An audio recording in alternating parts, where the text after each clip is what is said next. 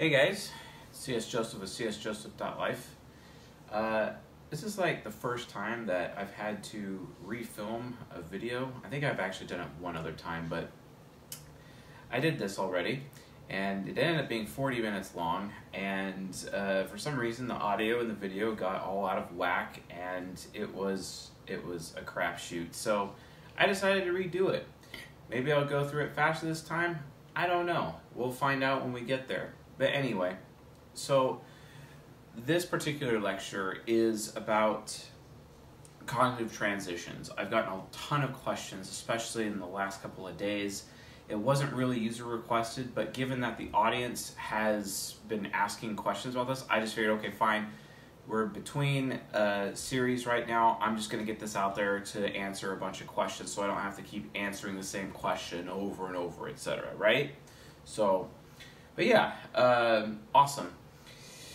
Cognitive transition. So what what does that mean? Like how is that like relevant? Well, cognitive transitions are when you have the four sides of the mind, ego, subconscious, unconscious, superego. They're together in a human being, right? And those four sides of the mind uh, work together in unity, etc. We talked about uh, a couple of days ago with Mr. Radiohead about how the cognitive functions are like a radio tuning into different spectra and uh, are able to gather and send and receive information, right? Well, today we're going to be talking about how you can easily shift voluntarily or involuntarily out of your ego into your subconscious or your unconscious or your superego and decisions and things that you can do to help speed along the process or to give you mastery over some of the size of your mind is just kind of how it works, right? So we'll just look at the mechanics of the four sides of the mind and how they're able to go in and out in that way with a little bit of a deeper dive. So with that in mind, we have here the ESTP. We're just using this uh, this person uh, on paper here as an example. They have their ego, they have their INFJ subconscious, their ISTJ unconscious, and their ENFP superego. So how does an ESTP get into their subconscious? Well, their subconscious, the INFJ, it is known as the sage of the mountain, right? Uh, and then the ESTP is the persuader. So it really goes down to gateways. The gateway functions are the fourth function, which is the inferior slash aspirational function, and the fifth function, which is the nemesis function, and then the final function, which is the eighth function, which is the demon function. These are the gateways. Now you could say that the top function, the hero, is also gateway. It is the gateway into the ego, and we'll talk a little bit about that. So those are the gateway functions. First, fourth, fifth, eighth. Those functions are the gateway functions, and the gateway functions is what you need to go to. You need to learn to master them, or people could put you in them involuntarily in an insecure or worried some situation, or something that's like outside of your will, like you were put there unwillfully, and you can get thrown into those sides of your mind quickly through those gateways, right? It's kind of like, uh, I don't know, if you watched anime and you saw this series called Naruto, and then there's this this uh, dude named Guy, and he's like one of the teachers, and he like opens gates to gain access to more abilities uh, with his fighting style or whatever. Same kind of thing uh, from a psychological standpoint. You have to treat these functions like gateways. They're all about giving you access to other parts of your mind, right? A lot of people talk about how we only use a certain percentage of our minds and we it would be great if we could access other areas of our mind.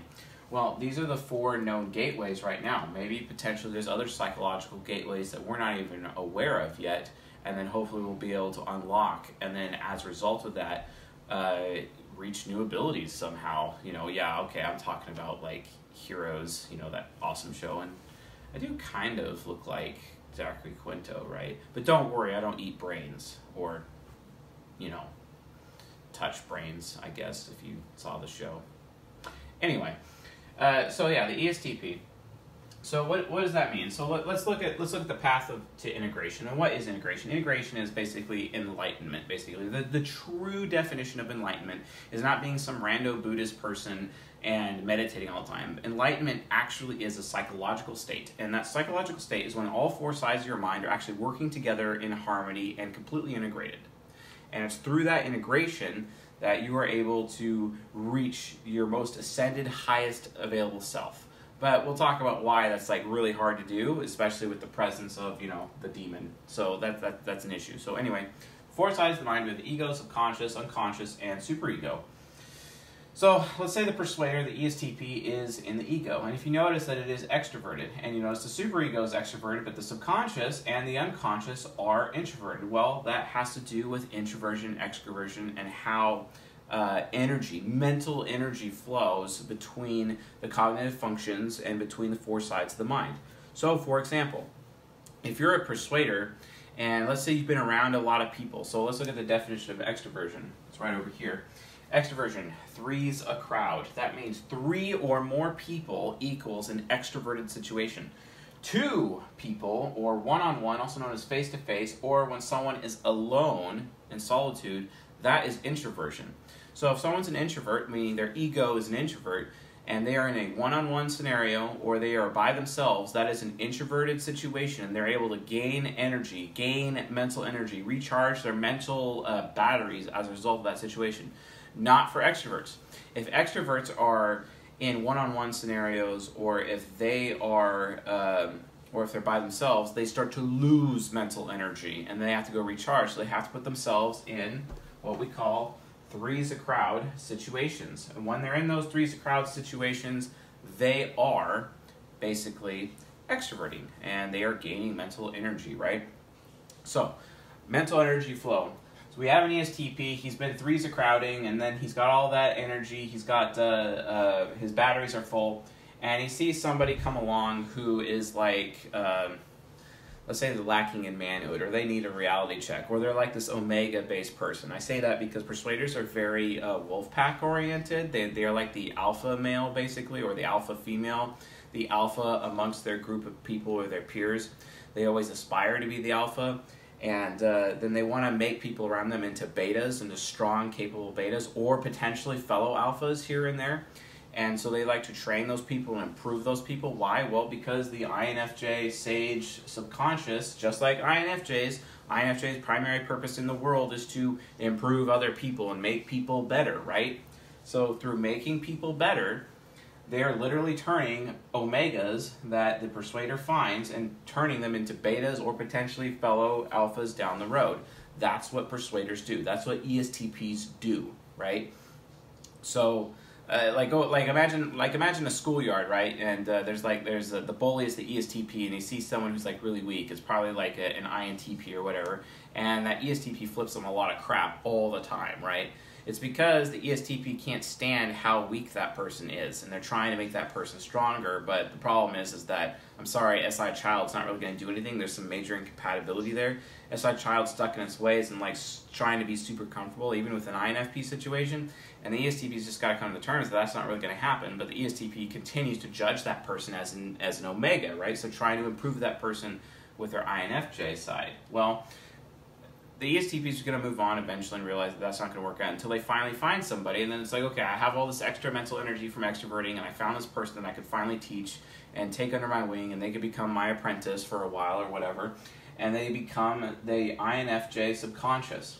And it take and it allows them what it allows them to do, it allows them to focus, to focus all their energy because they're unfocused with their SE with their SE hero, right? So when they go in their INFJ subconscious, they're NI inferior is activating and it becomes like an NI hero and they're able to focus their energy on that one person and improve them with their FE, the new FE, and then use logic to prove why it's important and then give them the experience that they would never forget with their extroverted sensing so that the persuader can improve this human being and cause them to become more developed, to become a beta, or become a, a, a, potential alpha one day, but get them out of omega status, basically. That's what the ESTP does. So the ESTP has improved this person with the INFJ, and from there, the INFJ, uh, you know, it spends because it's because it's introverted, uh, and the persuader is extroverted. It's spending a lot of mental energy, and then the ESTP gets tired from, you know, bringing this person up and teaching this person and helping them become an alpha, etc. This phenomenon right here is exactly why I actually know type, why I know this form of psychology. Because when I was living on the street, I met a man uh, by the name of Robert D. Bryant. Robert D. Bryant uh, uh, was, was a coworker of mine, and he mentored me in type because he saw that I was basically an omega, and he was trying to get me up to at least beta status and potentially an alpha down the road. He saw that in me, and he spent a lot of time with me, educating me, teaching me, and through him, I actually got to meet my other mentor in psychology, R.P. Moriel, which I am very thankful for, and that was a fantastic experience. Both those gentlemen helped build up my manhood in me because they're using one of the four uh, the four archetypes of the mature masculine, known as the magician. Right. if you need to find out more about that, read King, Warrior, Magician, Lover or refer to my uh, How Do Intimate Relationships Actually Work playlist, etc. So, yeah, uh, ESTP, Robert D. Bryant used his INFJ subconscious to basically mentor me and improve me, etc. So, that's basically how that worked. The problem is it cost Mr. Bryant a lot of energy because he was basically introverting, being in that one on one scenario, so it cost him energy, and then eventually he had to go back right into his ego and had to go extrovert. Then he would just straight up leave, or he'd take all of us and we'd go see a movie with a bunch of people. Actually, I got to see The Avengers, the very first Avengers film, in theaters with him because it was one of those times where he's so focused on teaching me that he just couldn't handle anymore. He's like, okay, we got to get in the car and go. We got to get out of here. And then we ended up in the Avengers film, and I got to see Avengers. It was dope, and we had a bunch of people there, and uh, we, we were able to extrovert, gain energy again, and then go back to learning again. That's how it worked. Now, there is some issues though. When an ESTP is doing that with their INFJ, they're actually aspiring. They're not using their uh, NI inferior. It actually becomes an NI aspirational. Now, what's the difference? See, you can go into your INFJ subconscious as an ESTP, or you can go into your subconscious depending on which type you are. It doesn't matter. If you're fourth, it depends on how you're approaching it. If you're approaching it from insecurity, the experience will be very negative. So, for example, imagine an ESTP who's being insecure about what they want because they don't know what they want. They really have no idea. They're so afraid of wanting the wrong thing, right? So imagine they see that omega come by, that omega just triggers them with how with how weak that person is and they can't stand it. But they're really insecure. They don't know what they want to do. They don't know how they don't how, know how they would want to approach this person, right? So they just default to extroverted sensing and give that person experience. And that person is not an SI user and a fellow extroverted sensing user, it turns into a bar fight, right? Turns into a brawl. Fists and go up because the introverted sensing user is not really going to you know, they're going to be like, okay, okay, maybe I see your point. You know, they'd be willing to uh, let the ESTP have room to want to help them in that regard. But a fellow SE user, probably not really. And it's going to end up landing, they're going to end up landing blows and exchanging blows with each other, right? It's going to turn into a fist fight. Why? Because the ESTP was not sure what it wants and they were insecure. And when that happens, when, when an ESTP is insecure and they go in their subconscious, that INFJ, just like regular INFJs, have the potential of alienating people with their FI critic. Guess what? That ESTP is using the INFJ subconscious, and through their insecurity in this gateway, if there's insecurity in this gateway, they will start to alienate other people that they are trying to improve. It happens all the time. It ha- actually happened to uh, an ESTP uh, who was the older brother of an ISTJ friend that I had growing up, and he would beat his younger brother all the time because he's like, he's too weak. And I have to beat him to make him stronger. Okay, that is ridiculous and it's stupid. ESTPs, if you're watching this, stop doing that. That's not actually how people work. Like, seriously, come on. That just means you're physically abusive. Wake up. That's not really real. You know, people don't improve like that. You know how people improve? Well, INFJ sage of the mountain basically means that you have wisdom. So guess what, ESTPs? If you want to be improving anyone, if you want to be making anyone not being weak, you need to stop being weak yourself. How do you do that? Well, get over your insecurity. But I don't know what I want. That's stupid. Like seriously, just pay attention to what other people are doing and then you know what you want. But then you get stuck in analysis paralysis where you're just like, ooh, I'm going to keep observing people over and over and over again. Then I have failure to launch syndrome because I'm not paying attention to what I want. I'm just so focused on what everyone else is doing, right? Oh, yeah, that's useful. Great. Way to be stuck in your mother's basement forever because you can't make a decision. Or way to wake up at 40 years old and have your entire life gone by you, having slept with over 600 people, right? And then it's like, oh, maybe I should actually like settle down with somebody, but I can't decide what I want. I'm this crazy nymphomaniac, right? Come on, like learn some chastity, be chaste, and be devoted to one person. Just pick one. It's not that hard, okay? Figure out what you want because guess what?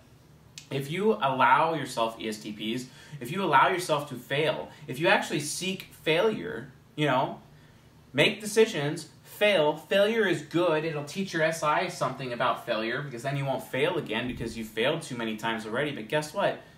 The number one important thing about INFJs are, and that is, gentlemen and ladies, wisdom.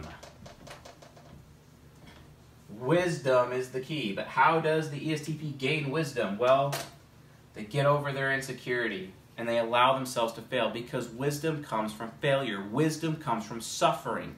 You cannot gain wisdom without failure. You cannot gain wisdom without suffering. You cannot be comforted into wisdom. And the whole point behind INFJ subconscious is conferring wisdom upon others. And the only way you're going to get wisdom is through failure. So ESTPs allow yourself to fail, right? Don't be afraid. It's because of your fear that you end up alienating other people and pushing people away, especially when you do your reality checks and your loyalty checks. It's wrong and it's abusive. And it's all because you people are too insecure. Stop being insecure. All you have to do is figure out what you want. If you don't know what you want, you can find out by failing over and over again and being okay with failure. I seek failure all the time because I learn something and then I learn rapidly and it gains me wisdom and then I'm able to confer it upon fellow men. You know, what you're supposed to be doing, ESTPs, but then now I have to do it. Wake up. Anyway, so wisdom.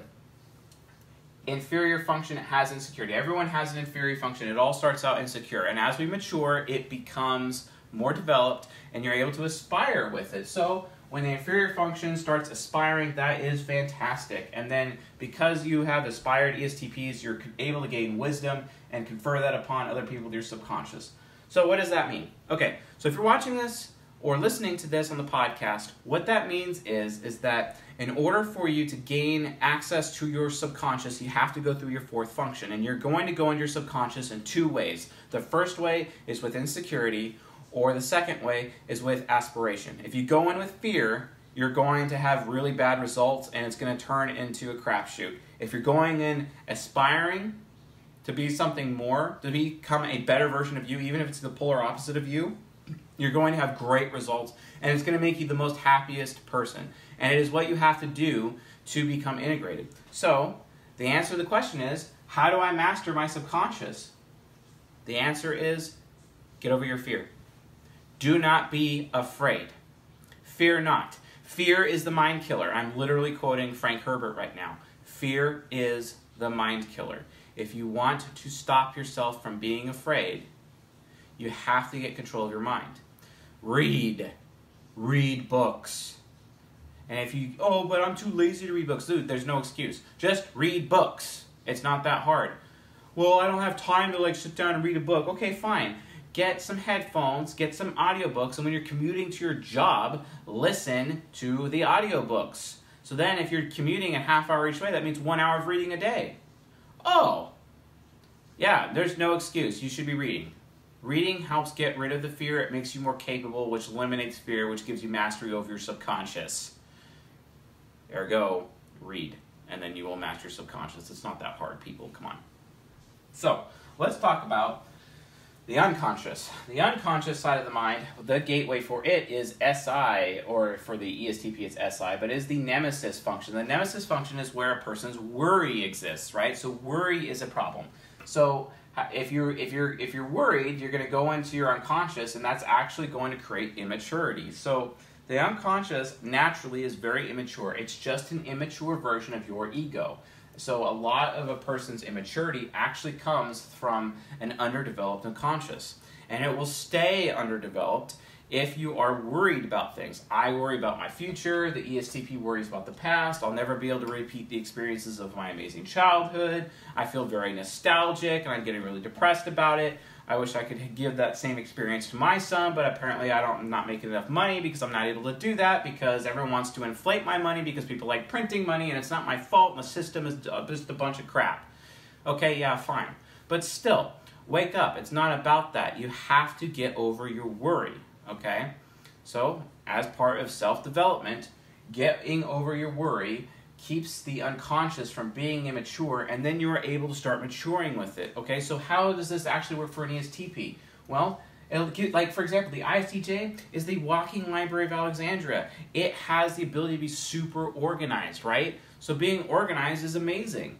So with it being so organized, the ESTP actually will be able to schedule things and will be able to uh, be very organized and very uh, process oriented and actually have a procedure that they hold themselves to. And they gain access to self discipline because self discipline comes from introverted sensing. Ooh, and then if I have a uh, more mature unconscious, that means I'm going to be more self disciplined, which means I'll be less impulsive and I inferior, and maybe I'll actually be able to be devoted to one woman or one man in my relationships.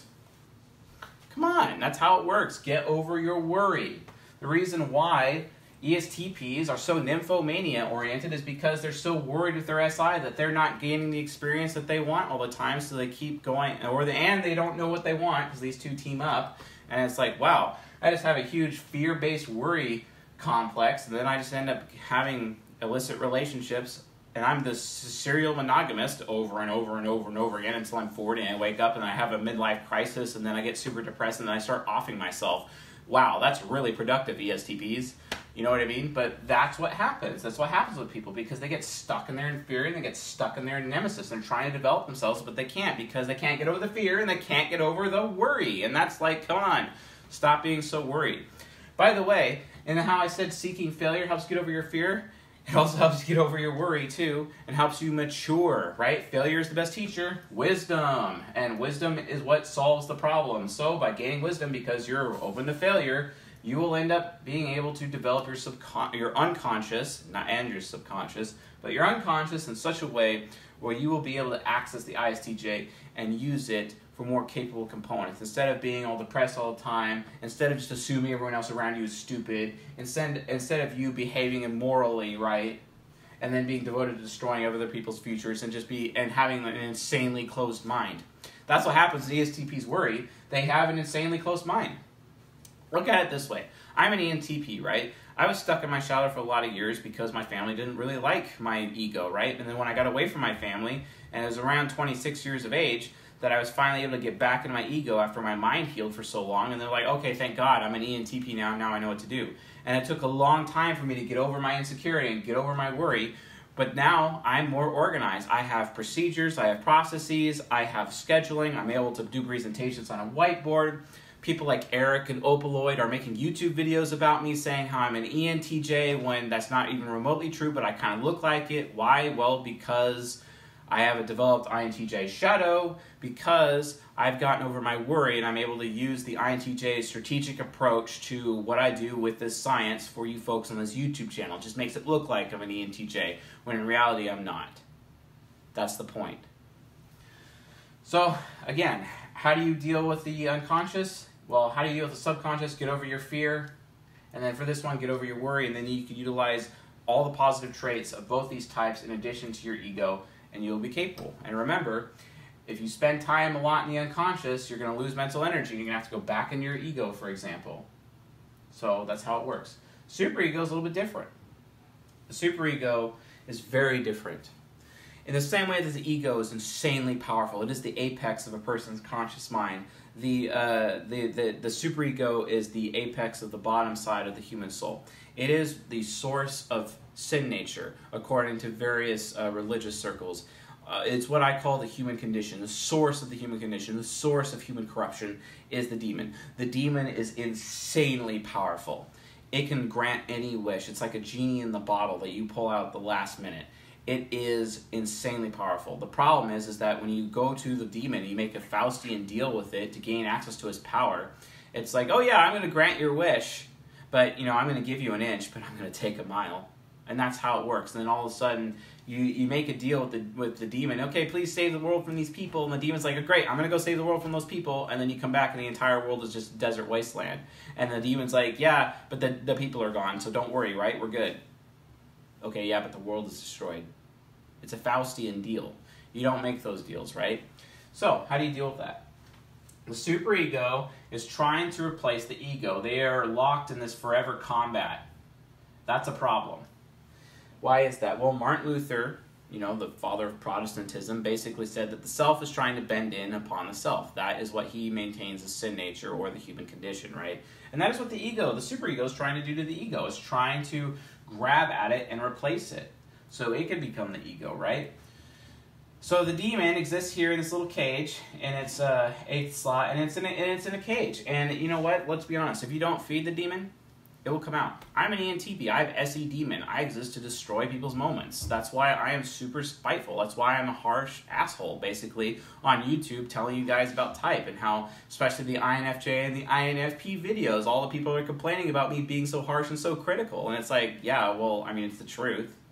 I'm not here to comfort you guys, you know, into wisdom. Like you can't get wisdom without with, comfort. So I'm here to breathe fire on y'all to wake you up so you realize what's really happening so you guys can change and have a better tomorrow. Because like that's maturity. I'm sorry, but you know, uh, rites of passage for maturity like used to be a thing, but apparently we don't. So now I have to be here breathing the fire of truth to wake you all up, so you actually have this thing called maturity, so we can have a better world tomorrow instead of the shit show that it is now for our children. Yeah, no, thank you. Anyway, so the super ego. So you have the demon. Yeah, so you can make that Faustian deal with the demon and you can become super powerful. And my demon makes me really spiteful. Well, me being spiteful is an example of me throwing some meat to the demon in the cage. Because if you try to put bars around the demon, the demon's going to ultimately break out of the cage and come out and just waylay, way waste to everything, devastate everything, because that's what it does. For example, Catholic Church and various other religious communities are telling people that they shouldn't have sex until marriage. And guess what people are going to do? They're going to have sex before marriage. Because when you tell people what they can't do, they're going to do it. When you tell the demon what it can't do, it's going to do it. It's going to eventually become strong because it becomes so hungry and it will come out of its cage and it will literally destroy everything. That's not what you do. When it comes to your demon, you get a few steaks and you throw it a few scraps, right? Throw it throw the demon some scraps, make it a little happy, you know, placate a little bit, and then it's like in in the cage. Oh, but you can't do that to your sin nature. That's horrible, you know. And I'm like, okay, yeah, you're probably that person that's trying to teach abstinence to people too. Not that abstinence isn't wrong, but at the same time, like this whole like we're going to teach you abstinence while not teaching you responsible sexual behavior with condoms and whatnot, which also backfires. You know what I mean? Why? Well, it's because the demon is coming out of its cage. Let's be honest, that's what happens. Because human beings will always do the opposite of what you tell them to do. Because of the demon. Because the demon will come free. You can't just you can't just put this wild animal and put it in bars and expect that okay, that's it. You know, we're just gonna shove it under the rug. It's never gonna happen Japanese culture, they kind of have it right. From their point of view, everyone could be totally a, a total kinky nymphomaniac anytime they want. That's perfectly normal. They can do that anytime they want, as long as within the right time, the right place, the right lo- you know the the right scenery, the right place in town. You know what I mean? And no one judges anyone for that because they recognize that everyone has those urges etc and they've compartmentalized that part of society in this location and no one is judged for it. Whereas in first world culture like the united states or at least western culture it is looked down upon which creates this huge uh, rep- repressed demons in the cage and then when the cage flies open finally because the demon just gotten so strong and so fed up with being ignored and neglected that it literally destroys that person's life and then you start having alcoholism and addiction and drugs and illicit sex and uh, uh, getting pregnant before their time, uh, awakening love before their time, rape, pedophilia, you name it. This is where it comes from, guys. It's because the demon is locked in the cage and it's not fed every now and then. You have to be careful. Now, that's not to say that the superego can actually be used for good. It can be. For example, sometimes if you're dealing with a problem in your life, and you have your ego and it's trying to solve a problem and it fails. So it goes to your your unconscious trying to solve a problem and it fails. You use your subconscious, try to solve a problem and it fails. What's left? Well, the superego. Sometimes you just have to be willing to let everything burn. Sometimes you have to get to a point where you have nothing to lose. And that is how you can utilize the demon properly. It's when you finally humble yourself and realize that there's absolutely nothing you can do and you have hit rock bottom and the demon exists for you to self destruct your life so that new life can begin. Burning down the entire forest setting everything fresh and anew so that new life can grow. That is the real purpose of the superego. It exists to literally reformat, rebuild, destroy, and rebuild your life so that you can have a better life, a better tomorrow. That's what it exists. It's like the ultimate self destruct button, so you can just blow up your life and start anew. Now that doesn't mean you go commit suicide anew. I'm in a new life. No, that's that's no, no, no, no. That's not what I'm saying. I'm saying, like for example, let's say you're in a rough marriage and you're getting really disrespected, or you're or you're being not loved uh, by your husband, or you're being disrespected by this woman, and uh, it's just time. It's just time to end that relationship. But you're not willing to end that relationship because you're afraid. You know, inferior function, and you're worried about what might happen. Nemesis function. No, no, no. You got to get over your fear. You got to get over your worry. And you got to be willing to set it all on fire. Here's a good way of putting it. An INFJ, known as Jesus Christ, actually once said this He who is willing to save his life will lose it. He who is willing to lose his life will gain it. What does that mean? Well, it's wisdom. And that wisdom basically is this use the superego you have to be willing to set your entire life on fire. You have to be willing to go through the divorce. You have to be willing to put everything on the line. Put everything on red and you're playing roulette, for example. You have to be willing to go all the way because you realize that you have nothing to lose and you have everything to gain. That's the point of the superego. That is when the superego should be used. That is when you make that Faustian deal with the devil because you have nothing to lose and everything to gain. That's the only time it's okay to be using the superego because the superego will reset your life and then you're back on track on a completely new path to happier times. That is what exists because in that serious in that situation your ego has failed, your subconscious has failed, your your unconscious has failed, and guess what? The superego is super powerful. It is it is the nuclear option. And if you have nothing to lose and everything to gain, press the red button, reset your life, and move on. Become who you were meant to be. Stop being afraid. Stop being worried. Get control of your life. Get the losers out of your life. And become somebody new. Become somebody better. And become somebody who is wise. And if you're stuck in these fear and worries, well, you're not going to get anywhere which basically means you know you're on the path to being a loser. You're waking up at 40 and you have like your entire life has just been a total waste. Congratulations, when you should have gone to the super ego a long time ago. That's what it means. So, that is how the transitions work, cognitive transitions. That's how the path of integration. The idea is to get all four of these sides of your mind working in harmony together. To do that, get over your fear, get over your worry, and recognize when it's time to hit rock bottom that you have nothing to lose and everything to gain. That is what it is. Because, especially if you decide to light your life on fire, especially if there's a divorce of children uh, present, think about it this way from a divorce standpoint. It is better for you to get divorced now so that your children will respect you later when they come of age because you getting divorced was respectable, which would teach them to have self respect when they come of age because you had self respect now and decided to go through with the divorce. Makes a lot of sense, doesn't it? Oh, maybe the superego actually does have a point. Maybe I should light my life on fire because I have everything to gain and nothing to lose. You have to be wise, guys. Stop being afraid, stop being worried, recognize when you've reached the rock bottom. If you do these things, you will have integration and you will be on the path to enlightenment. That is how this works. So, if you found this lecture to be useful, educational, insightful, please subscribe to the channel and leave a like. That would be awesome. And also subscribe on the podcast while you're at it. Uh, if you have any questions about the transitions, leave it in the comments section. I will answer your questions. I go out of my way like at least twice a day to read all of the comments that my phone tells me I have. So then I like reply to them, or like them, or love them, etc. But yes, I am paying attention to the comments, and I am getting some emails from you folks, and I am responding to those emails. If I haven't responded to it, I apologize, but I'm getting there. Uh, just there's a lot to do, and so very little time to do it, etc.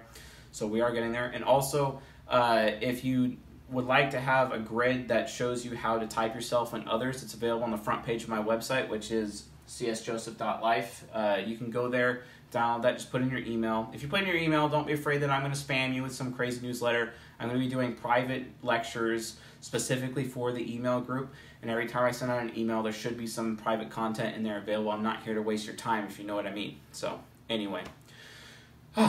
All right, well, I have like three more of these to film today, so I'll see you guys tonight.